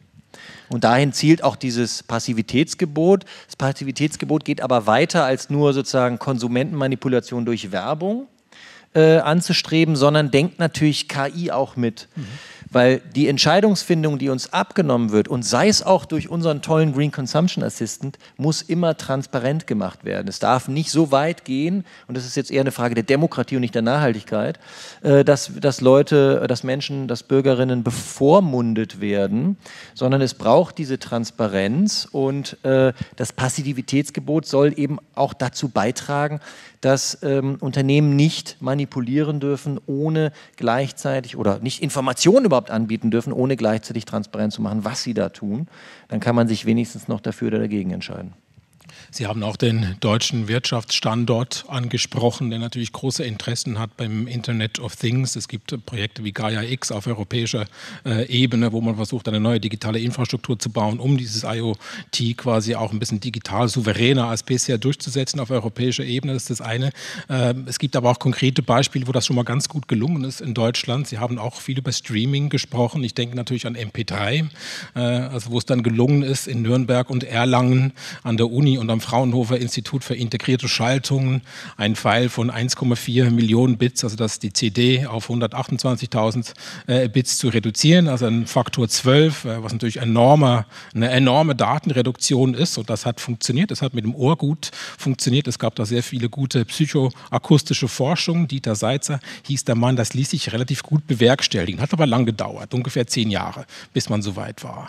Äh, ist es sowas möglich, jetzt auch quasi mit äh, Bildmedien zu machen oder funktionieren da die Augen dann doch anders? Gibt es da Bestrebungen? Jetzt Sie haben ja gesagt, will man das streamen oder will man das downloaden? Was ist jetzt quasi besser? Macht man es in niedriger Auflösung und nimmt dann ein bisschen Qualitätseinkauf, äh, Einbuße vielleicht in Kauf tatsächlich oder ist es dann doch besser, den Film runterzuladen und äh, den Lieblingsfilm vielleicht dann dreimal lokal zu also, gucken? Also zunächst mal, ob das technisch möglich ist, auch bei Bild, da bin ich sicherlich als Soziologe der Falsche, der das gut beantworten kann. Ähm, und da habe ich jetzt wahrscheinlich eher weniger Chancen, so eine äh, bahnbrechende Erfindung wie das MP3 äh, hervorzubringen. Ähm, aber ich denke, der Witz beim Datenreduzieren besteht ja nicht darin, dass wir Suffizienz falsch verstehen als einen Verzicht an hm. Lebensqualität. Und zum Beispiel ich bin überhaupt kein Fan von MP3, weil ich die Soundqualität schlecht finde. Aber das stört mich ja nicht, wenn ich auf meinem Smartphone höre weil da ist die Soundqualität sowieso schlecht. Ne? Das heißt, der, der Punkt ist nicht, dass ich für oder gegen MP3s bin, sondern ich glaube, es ist nicht die Lösung für mich, weil ich als Musiker auch äh, eben relativ gutes Gehör habe und zu Hause würde ich mir auf einer äh, guten Stereoanlage nicht MP3 geben. Aber es reicht völlig aus auf diversen Endgeräten. Und genauso ist es beim Streaming letztendlich auch. Ne? Wenn man da jetzt mal irgendwie in Großleinwand irgendwie äh, im, im Sinne von Public Viewing oder so weiter, dürfen wir ja gerade nicht, aber ähm, da mal irgendwie einen Film in Hochauflösung äh, schauen wollen, dann ist da, glaube ich, nichts gegen einzuwenden. Aber wenn man auf dem Smartphone streamt, dann braucht man die hochauflösenden ähm, Datentransfers gar nicht und hat keinen Qualitätsverlust, weil man es gar nicht sieht auf dem kleinen Bildschirm. Ne? Und da muss sozusagen der Trend hingehen. Also das Mindeste wäre, so eine Default-Option, dass äh, die Streaming-Auflösung sich anpasst an die Qualität des Endgeräts. Mhm. Ne? Äh, besser noch wäre ähm, so eine Default-Option, die immer die niedrigste Auflösung wählt, äh, auch wenn man auf dem, auf dem Beamer schaut und man muss sie dann selber hochstellen. Ähm, also das ist erstmal sozusagen die Low-Tech-Lösung, die ich mhm. vorschlagen würde. Und ob man da jetzt durch Datenkomprimieren dann noch mehr herausholen kann, das weiß ich nicht. Also die technische Frage. Ähm, Sie haben es auch schon angesprochen, KI hat zum Teil ein riesen Energieproblem. Also wenn Blockchain noch mit dazu kommt, wird es gleich noch ein bisschen größer. Äh, tatsächlich, das geht ja immer um verschiedene neuronale Netzwerke, die sich gegenseitig auch kontrollieren. Also wenn es dann um Adversarial Networks geht oder solche Sachen, das ist sehr energieintensiv und eben auch das Anlernen äh, dieser äh, Netzwerke braucht wahnsinnig viel Energie. Äh, gibt's da, was gibt es da für Lösungen, das zu umgehen? Entweder sagen wir, brauchen wir da wirklich KI, wo wir sie überall brauchen? Ist das ein möglicher Weg? Oder gibt es da auch wieder Hoffnung in sogenannte, ich sage jetzt mal das Wort Sprunginnovation? Es gibt eine Bundesagentur dafür, die eigentlich genau das fördert, zum Beispiel analoge Computer, die sehr viel schneller sein könnten und sehr viel weniger Energie brauchen würden. Das macht Rafael Laguna als ein Softwareunternehmer ähm, aus der Open-Source-Szene, was auch wieder der Nachhaltigkeit zugutekommen könnte. Wo sehen Sie da die Felder, wo am meisten eingespart werden Also könnte? Sprunginnovation, ich kann mir das vorstellen, aber wie gesagt, da bin ich wieder der Falsche. Aber mhm. da würde ich ja vor allen Dingen dann das Risiko sehen, dass die Sprunginnovationen eher dann dazu führen, dass in vielen Fällen jetzt noch mehr KI eingesetzt wird, wo man es mhm. sonst vielleicht doch nicht gemacht hätte, gerade weil es so viel billiger, einfacher, schneller ja dann wahrscheinlich auch wird, ne? wenn, wenn mehr Rebound. Daten umgesetzt ja. werden können. Und dann sind so Rebound-Effekte quasi vorprogrammiert. Ne? Mhm. Also das sind dann Pre-Bounds im Grunde. Da, da, da, kann man dann davon ausgehen, dass es dann ohnehin zu den ja. Rebounds kommt. Ja. Ne? Ähm, das gleiche bei 5G im Übrigen. Ne? Also 5G, natürlich kann man da irgendwie mit einem Zehntausendstel äh, der Energiemenge Daten transferieren, aber es wird nicht dazu führen, dass die Energieverbräuche runtergehen, sondern es wird dazu führen, dass wesentlich mehr Daten noch ähm, transferiert werden. Insofern, nur wenn das gesteuert wird, wenn es gleichzeitig Leitplanken gibt, kann das diese technischen Einsparpotenziale auch erzielen. Ähm, insofern fand ich jetzt Ihren ersten Punkt auf jeden Fall auch sehr naheliegend. Ähm, zuerst mal schauen, wo liegen wirklich auch die Potenziale für KI? Es ist ja im Moment ein Buzzword, also jetzt schon seit, seit etwas längerem, aber sozusagen man schreibt auf alles mögliche KI, ohne überhaupt darüber nachzudenken, ob da KI sinnvollerweise drin sein soll. Aber selbst wie in unserem Fall bei dem Green Consumption Assistant, mhm. da werden wir nur sehr selektiv äh, maschinelles Lernen einsetzen ein Großteil des Aufbaus der Produktdatenbank, das kann man mit ganz herkömmlichen Methoden ja. machen. Da brauchen wir überhaupt nicht KI für. Ja? Also auch dann, wenn wir sozusagen ein KI-gestütztes Tool entwickeln, wird nur sehr selektiv KI tatsächlich drin sein. Und ähm, mir ist eigentlich schleierhaft, wie man sowas regulieren kann oder politisch incentivieren kann. Ähm, ich habe Zweifel, dass äh, höhere Stromsteuern oder dergleichen mehr, was wir ja auch vorschlagen in Smarte Grüne Welt, was, glaube ich, an anderer Stelle was bringen könnte, zum Beispiel beim Streaming. Aber ob das für die Entwicklung von KI-Algorithmen und Produkten ähm, tatsächlich was bringt, da bin ich äh, unsicher. Also das ist sicherlich auch nochmal ein total spannendes neues Feld. Wie kann KI vielleicht eines Tages auch tatsächlich reguliert werden oder mit Rahmenbedingungen versehen werden, sodass es stärker auf Nachhaltigkeit einzahlt und so eine Suffizienz. Ne? Äh, so wenig KI wie möglich, so viel wie nötig eben auch tatsächlich dann ins Werk setzt. Sie haben noch so einen Zukunftsvektor aufgemacht und gesagt, wo dann digitale Suffizienz und Degrowth, also negatives Wachstum, heißt das quasi zusammenkommen könnten. Noch sind wir nicht da. Aber was wir jetzt tatsächlich haben unter pandemischen Bedingungen, ist negatives Wachstum. Ähm, ich stelle mir vor, dass es sehr schwierig ist, einer Bevölkerung jetzt zu erklären, dass das ein Desiderat ist. Ne? Also dass wir ein negatives Wachstum quasi in Zukunft brauchen. Ja, aber das ist ja nicht Degrowth. Ja ne? Der Unterschied ist ja, dass es sozusagen Katastroph katastrophenbedingtes ja. negatives Wachstum. Degrowth ist ein klarer Pfad. Das ist eine gestaltete Entwicklung und nicht irgendwie eine krisenhafte Einbruch. Also das ist der zentrale Unterschied. Klar, ich wollte aber auf was anderes hinaus, nämlich ähm, Sie haben es auch nur kurz erwähnt, äh, Lebensqualität. Ne? Also wo Sie gesagt haben, wenn wir äh, quasi mit digitaler Suffizienz arbeiten und wie gesagt, als Zukunftsvektor in eine gestaltete Degrowth reinlaufen könnten, würden wir an Lebensqualität äh, gewinnen. Können Sie uns da noch ein paar Beispiele äh, nennen, was das bedeuten würde? Also was müssten wir quasi neu als Lebensqualität definieren, äh, wenn das eintreten Gut, ich bringe mal ein ganz anderes Beispiel, weil ich es heute noch nicht angesprochen habe. Ich beschäftige mich in meiner Forschung auch mit dem Thema Social Acceleration, soziale Beschleunigung, Beschleunigung des Lebenstempos und ich habe jetzt äh, letzt, in den letzten zwei Jahren eine relativ umfassende, auch empirische Studie zum Zusammenhang von Digitalisierung und Beschleunigung des Lebenstempos gemacht. Und ich glaube, dass wenn Digitalisierung mit Degrowth verknüpft wäre oder eben mit ähm, digitaler Suffizienz, ne, dann würde eben nicht der Effekt eintreten, dass wir die Vorteile von Digitalisierung nutzen und gleichzeitig aber unser Leben laufend beschleunigen, sondern wir könnten dann tatsächlich die Versprechen der, der Technik, und das geht ja auch auf eine Zeit von Vordigitalisierung zurück, wirklich mal einlösen, dass uns die Maschinen was abnehmen und wir dann aber auch mehr Zeit haben für die schönen Dinge des Lebens. Ja, das ist ja eigentlich das uralte Versprechen der Industrialisierung.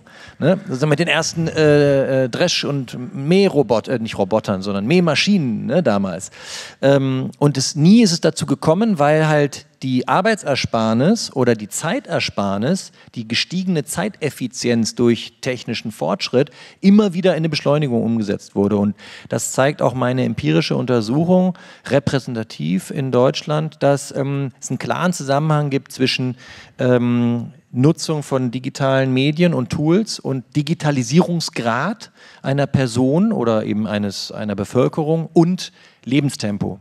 Ne, das heißt, dieses, dieses, wie soll ich mal sagen, diesen Teufelskreis im Grunde gilt es zu durchbrechen. Ne, dass Digitalisierung automatisch zu einer Beschleunigung des Lebenstempos, zu noch mehr Konsum, zu noch mehr Transport, zu noch mehr Meetings, zu noch mehr Aktivitäten in den 24 Stunden führt äh, weil wir dann, glaube ich, eben nicht das gute Leben, was wir uns eigentlich erhoffen, äh, ähm, erreichen können. Also Binge-Watching wäre dann nicht Teil dieser Lebensqualität irgendwie auf äh, Netflix. Ich glaube, wir sind soweit. Wir würden gerne äh, mal horchen, was äh, auf Slido passiert ist, welche Fragen da angekommen sind äh, und jetzt mit Ihnen reden, falls Sie uns sehen und hören. Bitte Moritz Tim vom HIG. Ja, guten Abend. Hallo, vielen Dank für den spannenden Vortrag und die tolle Moderation. Das Themengebiet, in dem wir bis jetzt am meisten Fragen haben, bezieht sich auf die Perspektive auf Unternehmen und die Wirtschaft im Allgemeinen und deren Regulierung. Ähm, und die dort am meisten hochgevotete Frage lautet, wird Sharing oder Suffizienz jemals mehrheitsfähig sein können? Sollten wir mit Digitalisierung nicht eher für ein strenges Umweltmonitoring in Unternehmen nutzen, der Unternehmen nutzen, Entschuldigung? Die Frage kommt von Ole Wintermann. Ja, prima. Ähm, ich finde die Frage gut, weil erstens ist es kein Entweder-Oder. Ich glaube, wir brauchen es fürs Umweltmonitoring und für die Suffizienz. Äh, Suffizienz alleine reicht auch nicht aus. Das ist ja ein alter Hut in der Nachhaltigkeitsdiskussion. Die Kombination aus Suffizienz, Effizienzsteigerung und Konsistenz, also Kreislaufwirtschaft, die erst wird zur Nachhaltigkeit führen. Suffizienz alleine wird es wahrscheinlich auch nicht reichen. Aber die Frage zielt ja noch stärker darauf ab, ob das mehrheitsfähig ist. Ähm, und ich denke, dass es auf jeden Fall mehrheitsfähig ist. Ich glaube, dass ähm, leider immer noch Suffizienz häufig, äh, zumindest in der deutschen Debatte, als Verzicht falsch verstanden wird. So, das ist einfach ein kommunikatives Problem, äh, was wir spätestens dann haben, wenn wir sozusagen den akademischen Raum verlassen. Ähm, und da weiß ich auch gar nicht, ob ich dann unbedingt jetzt in so einer breiteren Öffentlichkeit ständig über Suffizienz sprechen würde. Aber mehr noch, es wird eben nicht der Zugewinn an Lebensqualität, den wir ja gerade diskutiert haben, ähm, wahrgenommen. Also in der Kombination aus, ich nutze digitale Medien oder Tools, aber habe auch noch mehr Zeit für die Sachen, die mir wirklich wichtig sind. Ich glaube, das würden die allermeisten Menschen äh, unterschreiben. Oder eine Kombination aus, ich nutze zum Beispiel Sharing-Angebote, die leichter zugänglich sind, Stichwort Green Consumption Assistant. Für viele Menschen ist das einfach noch heute noch ein Hemmnis, sich erstmal den Zugang zu Sharing-Systemen aufzubauen. Aber sagen wir mal, wenn das leichter ist, ähm, dann habe ich sozusagen keine Pflichten mehr, mich, bleiben wir mal beim Auto, ja, mich um Reparatur, Parkplatz, äh, Kaufanschaffung, äh, Versicherung und so zu kümmern, sondern ich kann einfach nur nutzen ähm, und gleichzeitig äh, mein äh, sozusagen, habe noch Zeit übrig und wahrscheinlich sogar auch noch Geld übrig, ähm, um andere Dinge damit zu machen. Also das, diese Kombination aus Lebenszugewinn und Transformation, die äh, wird mehrheitsfähig sein. Ähm, es ist leider allzu oft so, dass Suffizienz dann falsch verstanden wird, so nach dem Motto, wir müssen den Gürtel enger schnallen. Und ich, ich glaube, das ist in ganz vielen Fällen äh, gar nicht äh, die Realität. Fahren wir einfach fort? Ja, gerne. Ja. Dann äh, würde ich vielleicht mal einen anderen Themenbereich hier anschlagen. Die Frage kommt von meinem übernächsten Sitznachbar, Herrn Christian Katzenbach, der fragt, indem Digitalisierung alle Lebensbereiche und Sektoren durchzieht, haben sich auch viele soziale Konzepte und Selbstverständlichkeiten verschoben, zum Beispiel Privatsphäre, Mediennutzung und Arbeit. Verändert sich auch das Konzept Nachhaltigkeit? Und dann direkt im Anschluss eine Frage von Martin Schmidt, anschließend an die Frage von Christian Katzenbach. Beziehungsweise verändert sich auch das Konzept von Umwelt durch Digitalisierung? Wow, das sind coole Fragen. Besonders die letztere ist ja eigentlich fast eine philosophische Frage. Ne? Was ist Umwelt? Ähm, besonders dann, wenn die Umwelt mithilfe von digitalen Tools äh, immer mehr sozusagen zu einer Mitwelt wird. Ne? Stichwort Vernetzung oder irgendwie von Drohnen gepflanzte Bäume zur Wiederaufforstung und dergleichen mehr. Ähm, ich glaube, dass äh, das Konzept von Nachhaltigkeit sich erstmal zumindest der Stand der Debatte jetzt, noch nicht verändert hat. Und ich glaube, das liegt vor allen Dingen daran, also es gab mal so äh, Versuche von Nachhaltigkeit 4.0 und so zu sprechen und das dann irgendwie inhaltlich zu füllen, als hätte sich das Konzept verändert. Ich halte das aber äh, für eine, für einen, nicht für einen Irrweg, aber sozusagen für nicht genügend substanziell, um wirklich zu sagen, dass sich hier das Konzept verändert hat. Und ich glaube, es liegt aber vor allen Dingen daran, dass Nachhaltigkeit etwas ist, was auf einer Zielebene operiert und zumindest dieser nebulöse Begriff der Digitalisierung, ich verwende ihn viel, äh, manche lehnen ihn zu Recht auch komplett ab, ähm, häufig ja eher auf der Mittel, auf der, e auf der Ebene der Tools, der Mittel zum Zweck äh, operiert. Ne? Also Digitalisierung as such ist kein Zweck, sondern eher ein Mittel, ist eine Toolbox, wohingegen Nachhaltigkeit ist auf der Zielebene, äh, keine Ahnung, Einhaltung planetarer Belastungsgrenzen oder mehr äh, Fairness oder so. Ja? Ähm, und deswegen glaube ich, dass die Konzepte sich gar nicht so stark ins Gehege kommen, sondern dass man sie eben sehr gut auch miteinander kombinieren kann. Und ich sehe zumindest jetzt so in der Debatte, die wir in den letzten Jahren hatten, also angefangen von Green IT, die ältere Debatte über ICT for Green, bis hin jetzt zu der Debatte, die wir ja auch mit äh, unseren Arbeiten so in Richtung Digitalisierung für eine Nachhaltigkeitstransformation oder für eine sozialökologische Transformation angezettelt haben, eigentlich keine Veränderung des Nachhaltigkeitskonzepts. In Ordnung. Danke für die Antwort. Dann äh, machen wir weiter vielleicht mit einer eher historischen Frage. Ebenfalls Martin Schmidt, das ist die zweithöchst gewotete Frage stellt, Entschuldigung, stellt folgende Frage. Die Digitalisierung begann nicht erst vor 20 Jahren. Lässt sich ein Zusammenhang erkennen zwischen der Digitalisierung von Kommunikation, der Globalisierung und Umwelt in den 1980er und 90er Jahren, beispielsweise dem Offshoring von Industrieprodukten? Wow, die Frage brauche ich nochmal. Also ich gehe 100% damit konform, Digitalisierung hat nicht vor 20, auch nicht vor 40 Jahren begonnen, sondern viel früher. Aber was war nochmal genau die Frage bitte. Ich lese nochmal noch den Wortlaut. Sie ist sehr weit oben und wir verfahren hier nach demokratischem Prinzip. Jo, sehr gut. Ähm, manchmal gibt es dabei unter Umständen Verständnisprobleme. Also, die Digitalisierung begann nicht erst vor 20 Jahren. Lässt sich ein Zusammenhang erkennen zwischen der Digitalisierung von Kommunikation, Globalisierung und Umwelt in den 1980er und 1990er Jahren, zum Beispiel mit dem Offshoring von Industrieprodukten? Ich nehme an, es geht um eine Parallelität zu heute, zu der Situation, die Sie skizzieren. Ich meine, die Offshoring von Industrieproduktion ist ja jetzt Stichwort Globalisierung, so nehme ich es mal an, also die Transnationalisierung von Produktionsketten. Und die sind natürlich extrem stark durch Digitalisierung bedingt. Ähm, und tatsächlich äh, mindestens 80er, wenn nicht schon 70er Jahren, wo zuallererst die Banken anfingen, ihre Kapitalströme zu äh, digitalisieren oder digital zu erfassen und natürlich Digitaltransfers, digital, äh, Finanztransfers digital abzuwickeln, aber dann später eben auch das ganze Management der ähm, sprichwörtlich in zig oder hunderte Einzelteile zerpflückten Produktionsketten, ne, wo eine Jeans irgendwie an sieben oder zwölf Produktionsstätten mit x Zulieferern und so weiter hergestellt wird, diese Art Beispiele. Das ist ja alles erst durch Digitalisierung äh, möglich geworden und ich glaube, auf der Ebene hat es einen hohen Einfluss auf ähm, Nachhaltigkeit gehabt und auch das Konzept von Nachhaltigkeit, weil die Globalisierung schon die Nachhaltigkeitsdebatte verändert hat.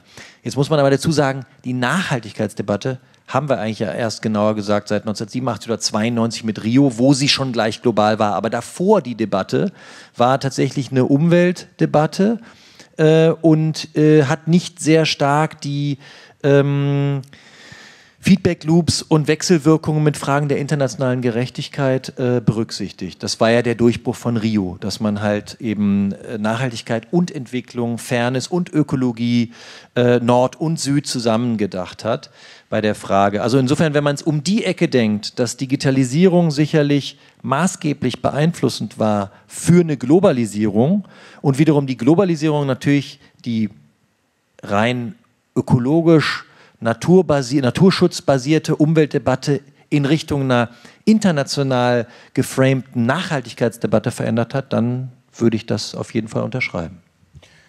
Vielen Dank. Ähm, ein erneuter Themenwechsel. Es geht jetzt wieder eher um Regulierung. Wir sind wieder ein bisschen bei den Unternehmen, aber jetzt im konkreten Zusammenhang zu dem Green Consumption Assistant. Ähm, dort wird gefragt, warum wird der Ansatz, das ist der Assistant, ähm, nicht auch auf Unternehmensebene gedacht? Vielleicht als ein Monitoring-Tool für Konsumenten oder ein vielleicht nicht als Monitoring-Tool für Konsumenten müsste es, glaube ich, eigentlich heißen.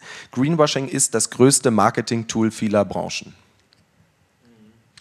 Also ich halte das nicht für äh, unmöglich, dass wir das auch direkt in Kooperation mit äh, Unternehmen auch für die Unternehmensebene äh, dienstbar machen. Also insbesondere unsere Nachhaltigkeitsproduktdatenbank. Wir haben auch als Praxispartner einen Satz von Unternehmen jetzt schon im Konsortium. Wie intensiv wir mit denen zusammenarbeiten, das müssen wir jetzt mal sehen. Ich habe ja gesagt, das Projekt hat gerade erst angefangen. Aber ich glaube, dass äh, es neben der Idee auf der Ebene der Suchmaschine oder im Kartendienst oder in der Smartphone-App sozusagen Informationen und äh, Alternativen für Konsumentinnen bereitzustellen, dass das genauso auch genutzt werden kann, die Informationen, die dahinter liegen, die den KI-Shopping-Assistenten sozusagen powern, auch genutzt werden kann, um Unternehmen zu, ähm, ja, erstmal zu äh, tracken und vielleicht dann auch äh, in gewisser Hinsicht Tools anzubieten, wo Unternehmen dann ähm, vielleicht sich auch mit verändern können. Also das kann ich mir sehr gut vorstellen. Ähm, ist eher die Frage, ob wir das als Konsortium packen, alles gleichzeitig zu machen oder ob man dann nicht vielleicht gerne auch auf äh, kooperationswillige Interessentinnen äh, eingehen kann, die ich hiermit herzlich einlade, sich bei uns zu melden, wenn sie derartiges machen möchten. Vielen Dank. Ähm, bleiben wir beim Shopping Assistant, ähm, der grundsätzlich, würde ich sagen, in den Fragen gut ankommt. Der wird immer erstmal gelobt, bevor er hinterfragt wird. Hier heißt es zum Beispiel, der Shopping Assistant ist eine prima Idee. Wie ermitteln Sie genau den Ressourcenverbrauch eines Produktes über die gesamte Lieferkette? Und ich würde einfach noch eine zweite, weil ich sie verwandt finde, Frage hinterher schieben, die da lautet, auch Ecosia baut letztlich auf eine Suchmaschine von Microsoft auf und muss sich über Anzeigen finanzieren. Passt das zum Green Consumption Assistant? Also die erste Frage äh, ist recht einfach zu beantworten, aber nicht ganz trivial in der Durchführung. Wir werden da auf äh, Lifecycle-Analysen zurückgreifen, die es für unzählige Produkte jetzt schon gibt äh, und die wir vielleicht an einer oder anderen Stelle ergänzen können. Also wenn man sich jetzt anguckt, wie, die, wie der äh, Footprint ne, zum Beispiel von einem äh, T-Shirt ist, dann gibt es da schon LCA, also Lifecycle-Analysen, die das schon gemacht haben. Wir müssen die nicht mehr alle neu erfinden. Äh, also insofern da ist, glaube ich, die, die Lifecycle-Analyse ein bewährtes Tool. Ähm, aber es ist natürlich nicht ganz trivial, weil wir unzählige Produkte haben und auch erstmal die Daten alle zusammenführen müssen von diesen LCAs, die es da schon gibt und sie dann auch noch bewerten müssen. Stichwort starke Nachhaltigkeit. Wir wollen ja gucken, dass das auch wirklich Hand und Fuß hat und nicht eben so ein halbes Greenwashing. Ähm, und der zweite Teil der Frage war nochmal? Äh, der zweite Teil bezog sich auf Ecosia. Ah ja, genau, mit Ecosia und Bing. Ja, das ist natürlich. Äh, suboptimal. Ich weiß nicht, ob es viel besser wäre, wenn jetzt Ecosia mit Google kooperieren würde oder auf Google fußen würde. Das überlasse ich jetzt jeder einzelnen Zuhörerin oder jedem Zuhörer hier dazu äh, zu bewerten, äh, welche der beiden Suchmaschinen da jetzt besser wäre oder welche, welches der beiden Konzerne, Microsoft oder Alphabet, da jetzt irgendwie lupenreiner wäre. Ähm, ich äh, denke, da gibt es genügend Kritik bei beiden. Ähm, Ecosia hat ganz früh eine Entscheidung getroffen, ähm, so wie ich das interpretiere, ist jetzt meine Sicht, nämlich zu sagen, okay, wir spielen ein Stück weit das Spiel mit, dass wir selber uns, also Ecosia, sich aus Werbeeinnahmen finanziert, die eben Bing generiert oder früher Yahoo. Ne? Und ähm, nutzen das dann aber, das Einkommen, um damit Purpose zu machen, also um Bäume zu pflanzen. Und ich glaube, das ist jetzt ein wichtiger Strategiewechsel, dass Ecosier eben auch sagt, und wir wollen aber zusätzlich auch noch am Frontend beim User auch noch Nachhaltigkeitstransformation begünstigen. Who knows? Wir werden sicherlich unsere Fühler auch Richtung äh, Google und Bing ausstrecken und mit denen gemeinsam mal besprechen, ob nicht so ein Green Consumption Assistant auch was für deren Plattform wäre und vielleicht bewirkt es ja auch noch eine gewisse Transformation dann bei diesen äh, beiden Suchmaschinen, aber da will ich jetzt auch nicht zu viel versprechen. Ähm, vielen Dank. Bleiben wir nochmal ungefähr im Themenbereich. Ähm, Christiane sagt, es ging sehr schnell. Ich nehme an, damit ist der gesamte Vortrag gemeint. Sie hatten ja auch selber angekündigt, dass es nicht ganz so viel Zeit gibt. Und sie fragt daraufhin, welche Nachhaltigkeitskriterien legen Sie bei den Soft- und Hardwareprodukten zugrunde? Wie bewerten Sie dabei die kommerziellen Datensammlungen? Welche Nachhaltigkeitskriterien für Soft- und Hardware nochmal bitte? Welche Nachhaltigkeitskriterien legen Sie bei Soft- und Hardwareprodukten zugrunde? Ich nehme an, in Ihren Empfehlungen beim Shopping Assistant. Und wie bewerten Sie dabei die kommerziellen Datensammlungen? Also es gibt da jetzt bestimmt nicht ein Set an Nachhaltigkeitskriterien, das man anwenden könnte. Ähm, also bei der Hardware ist es ja allein schon schwierig, wenn wir jetzt über Nachhaltigkeit reden. Heute war das Thema Klima, dass man eben nicht nur schaut, wie energieintensiv oder CO2-intensiv ist eine Produktion von beispielsweise einem Gerät, sondern auch zum Beispiel, welche toxischen Stoffe kommen da zum Einsatz äh, oder unter welchen Bedingungen wurden die produziert. Also nicht nur toxische Stoffe, die in den Geräten sind oder irgendwelche äh, seltenen Metalle oder so, sondern auch unter welchen Umweltschutzstandards wurden in den Fabriken produziert und so weiter. Also da hat man schon mal Äpfel und Birnen und das ist nicht ganz trivial. Ähm, genau, bei der Software denke ich, ist auch noch noch offener, weil es da, was Sustainable Software äh, betrifft, oder wir sagen Software-Suffizienz, ähm, noch extrem viel Forschungsbedarf besteht. Es gibt das Karlskron Manifesto, äh, wo ein paar Prinzipien festgeschrieben sind. Es gibt eine spannende Studie von einem Kollegen und eben auch Co-Autor von dem Paper, was wir zur äh, digitalen Suffizienz gerade erarbeiten, äh, Lorenz Hilti aus Zürich, der das zusammen mit anderen für das Umweltbundesamt mal entwickelt hat, äh, Sustainability-Kriterien für Softwareentwicklung. Das ist alles noch sehr in den, in den Kinderschuhen und würde vielleicht jetzt auch sehr ins Detail gehen. Also ich sage mal so, man kann da auf verschiedene Kriterien fußen, aber ähm, muss da sicherlich auch äh, noch viel Arbeit leisten. Vielleicht noch eine Frage, wenn noch eine da ist, und dann würde ich gerne noch äh, abschließen hier, wenn es geht. Sehr gerne. Ich glaube, wir haben eine Frage, die sich ganz gut als letzte eignet. Äh, sie betrifft den Klimawandel und ist, glaube ich, auch eher eine allgemeine, vielleicht eine etwas persönlichere Frage. Und sie lautet, wie schaffen Sie es bei teilweise katastrophalen Vorhersagen bezüglich der Klimaveränderungen so optimistisch zu bleiben? Ja, es ist die eins, das Einzige, was Spaß macht und Sinn macht, würde ich mal sagen. Also äh, sich einzugraben oder den Kopf in den Sand zu stecken, bringt nichts. Also ich finde, es ist auch ne, Wissen verpflichtet, genauso wie Eigentum verpflichtet, verpflichtet ja auch Wissen. In dem Moment, wo ich mich mit der Klimakatastrophe beschäftige und vor allen Dingen mit der Frage, inwieweit es menschgemacht ist und was wir als Alternativen tun könnten, fühle ich persönlich auch eine Verpflichtung, da was zu ändern. Und das werde ich immer besser mit Optimismus schaffen, um mich selbst zu motivieren, aber auch um da draußen irgendwen zu erreichen, als durch irgendwelche 5 vor 12 Rhetoriken. Ähm, genau, das zum einen. Und zum anderen machen wir uns nichts vor. Anderthalb Grad, das Ideal äh, wird wohl nicht zu erreichen sein. Aber es lohnt sich, für jedes Zehntel Grad zu kämpfen, was wir den Planeten weniger erwärmen. Das heißt, auch wenn 1,5 Grad oder 2 Grad als Schwelle gerissen werden, weil viel zu wenig passiert, macht es einen Riesenunterschied, ob wir 2,2, 2,5 oder 3,5 Grad äh, Erwärmung haben. Insofern auch da kann sogar noch Optimismus sinnvoll sein, um für jedes Zehntelgrad zu kämpfen. Vielen, vielen Dank für die vielen interessanten Fragen äh, aus dem Tool. Vielen Dank fürs Zuschauen. Ich habe noch eine sprachphilosophische, fast Verständnisfrage, glaube ich, und ganz zum Schluss eine politische. Und die sprachphilosophische betrifft die Begriffe, wie wir sie im Deutschen verwenden und im Englischen. Ich habe hinter den zwei Fragen, die mit dem Begriff Umwelt operiert haben, äh, eher so systemtheoretische Bedenken vermutet und weniger im Sinne vom Environment.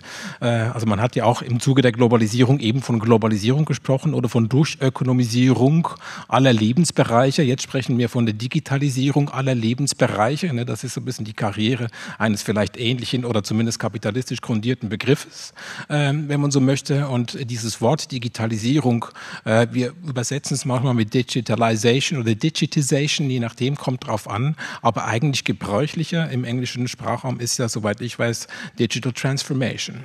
Das heißt, es ist ein Prozess, der sich würde ich meinen, viel besser gestalten lässt als dieser obskure Agent Digitalisierung, der irgendwie jeden Lebensbereich irgendwie durchdringt und dann auch sowas, ich würde manchmal was sagen, wie Apathie auslöst, oder? Die Digitalisierung ist das Supersystem, das keine Umwelt mehr zulässt, um es mal abstrakt zu sagen. Also scheitern wir da manchmal vielleicht auch ein bisschen an den Begriffen tatsächlich? Da ist sicherlich ein Wust bei den Begriffen, äh, denke ich auch. Und auch die Konnotationen im Deutschen und Englischen sind da durchaus unterschiedlich. Ja. Ich persönlich mache den Unterschied zwischen Digitization und Digitalization ja. darin, dass der erstere ein technischer Begriff für mich ist ähm, und der zweite, die Digitalisierung, ein Prozess der sozialen Veränderung. Mhm ähm, also der gesellschaftlichen Veränderung aufgrund von oder im Zusammenhang mit aufgrund schon, klingt schon wieder so technikdeterministisch, so würde ich es gar nicht sehen, sondern eher im Zusammenhang mit ähm, eben der ja, verstärkten Einführung, Nutzung äh, von äh, digitalen Tools und äh, Algorithmen am Ende des Tages. Ähm, ich würde den Begriff Digital Transformation ungern verwenden, weil ich den Begriff Transformation für die Nachhaltigkeit verwende. Hm. Das heißt, ich will nicht, dass die Digitalisierung die Richtung oder das Adjektiv der Transformation ist, mhm. sondern wir brauchen in erster Linie eine soziale und eine ökologische Transformation. Und es kann sein, dass die an bestimmten Stellen auch sehr digital ist, aber an anderen vielleicht gar nicht, Stichwort digitale Suffizienz. Mhm. Und insofern ist es mir wichtig, den Begriff der Transformation davon eher abzukoppeln. Die politische Frage äh, betrifft immer ein bisschen quasi unsere Souveränität in Europa oder in Deutschland oder äh, unsere Rolle vielleicht in dieser Transformation, nennen wir sie jetzt mal so. Äh, und Sie schreiben es ja auch im Buch, also in Deutschland ist der Staat, die öffentliche Hand und die Institution, die sie finanziert, ein sehr großer Auftraggeber. Wenn es um Informations- und Kommunikationstechnologien geht, rund 25 Prozent. Das ist sicher mehr als in manch anderen westlichen Ländern. Das heißt, äh, der Staat ist da ein großer Player und könnte da eigentlich auch viel gestalten oder zu dieser Transformation beitragen. Was würden Sie sagen? Ist das quasi ein Standortvorteil tatsächlich für Deutschland und Europa, äh, dass der Staat hier ein größerer Player ist und quasi mehr mitreden kann oder äh, spielt das gar keine Rolle? Ja, ich denke, das ist ein Standortvorteil. Ich meine, ich sehe schon auch, dass sich einige große Digitalkonzerne, ähm, und zwar jenseits des Transatlantiks, in China sehe ich das gerade noch nicht so, ja. ähm, sehr stark in Richtung Ökologie bewegen. Ähm, aber da sind es dann halt einfach andere Dimensionen der Nachhaltigkeit, die völlig auf der Strecke bleiben. Also was hilft es sozusagen, dass Google irgendwie komplett CO2-Neutralität äh, ähm, sich als Ziel setzt, aber das erreicht mit horrenden Einnahmen aus Konsumentenmanipulation, Überwachung und äh, Monopol, äh, Monopolisierung von Märkten. Ne? Also insofern, da ist sozusagen die ökologische mit der sozialen Nachhaltigkeit dann so überquer. Und der Witz an Nachhaltigkeit ist ja eben, das habe ich ja vorhin gesagt, dass eben Ökologie und Soziales zusammengedacht wird und nicht gegenseitig ausgespielt wird, ne, dass ich dem, dass ich das nicht als Standortvorteil äh, sehen kann, dass vielleicht jenseits des äh, Atlantiks einige Firmen in Sachen Ökologie schon sehr weit gegangen sind und zwar weiter als viele Nationalstaaten in Europa, ne, mit, einem, mit so einem klaren Commitment zu Klima. Insofern allzu viel Hoffnung in die nur politische Lösung Europas äh, ist vielleicht auch noch etwas verfrüht. Ich würde mich, das habe ich ja schon gesagt am Ende von meinem Talk, freuen, wenn es jetzt auf der europäischen Ebene da politischerseits schon mal eine Debatte gibt über die Zusammenführung von Digitalisierung und Dekarbonisierung. Ähm, habe ich ja gesagt, das findet noch viel zu wenig bzw. kaum statt. Ähm, und dann muss man sehen, ob man das dann als Standortvorteil ausbauen kann. Äh, also ich glaube, dass äh, die Frage, ob dann die Digitalisierung doch eher sozusagen für die Wachstumsökonomie geopfert wird oder wirklich zu einer Transformation beitragen kann, die ist noch nicht beantwortet oder beantwortbar. Das heißt, wir machen weiter auch mit dieser Reihe. Wir sehen uns sehr wahrscheinlich in der einen oder anderen Form am 23. oder 24. November, Christian, mit Lisa Denczek. Ich habe es jetzt gerade nicht ganz. Am 23. November, äh, am Montag, machen wir hier weiter. Vielen Dank, Tilman Santarius, für diesen sehr informativen Vortrag. Ich habe mich sehr gut unterhalten gefühlt und sehr viel gelernt. Herzlichen Dank fürs Kommen. Einen schönen Abend Ihnen allen. Ja? Dankeschön. Danke. Bin gerne hier jetzt noch für Gespräche zu haben, mit oder ohne Maske, aber vor allen Dingen auch online an die Gäste. Ähm, gerne für jeden Kontakt dankbar, wenn es um Kooperation oder um Nachfragen geht. Schönen Abend.